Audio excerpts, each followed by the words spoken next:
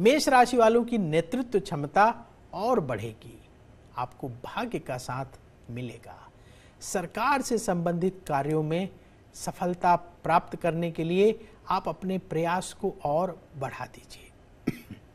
Property में निवेश के योग मेष राशि वालों के लिए बन रहे हैं।